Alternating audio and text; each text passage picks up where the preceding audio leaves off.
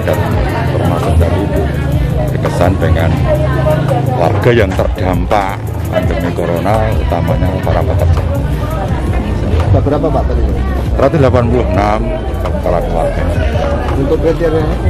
Kriterianya memang yang uh, utamanya yang kurang mampu dan, dan juga yang terdampak dari PHK.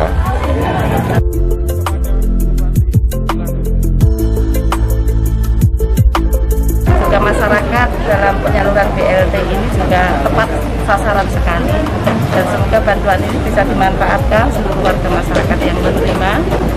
Uh, saya selalu berpesan pada saat uh, penyaluran untuk masyarakat disiplin melindungi diri dan keluarganya dan untuk selalu hati-hati dan seluruh kepala desa yang ada di Prambanan Alhamdulillah semuanya sudah kompak bersama bersama-sama saya melawan virus corona di Kabupaten. Siap.